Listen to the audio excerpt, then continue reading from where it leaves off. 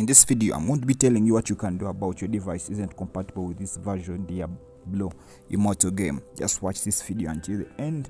So if you try to install the diablo immortal game and you see this your device isn't compatible with this version in this video i'm going to be explaining to you the possible ways on how you can go resolve this error this problem that comes up as you try to install the game. So when you scroll down and see tap on about this game uh, trying to get the system requirements for this game to operate on your phone. You need to make sure that scroll down uh, after tapping about this game scroll down and look for the last option as you can see right there. So you need to make sure to have all the following requirements for the for the game to operate on your device.